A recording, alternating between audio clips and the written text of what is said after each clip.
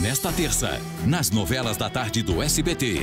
Jura para mim que você jamais foi a bonita e que jamais pretendeu fazer com o Rafael que fez com minha tia Constança.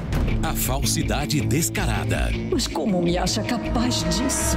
E a verdade. Oi, Renata. Mais perto do que se pode imaginar. Que curioso. Vocês têm quase o mesmo olhar. Nunca ninguém disse que se parecem? Nesta terça, 15 para 7. Quando me apaixono.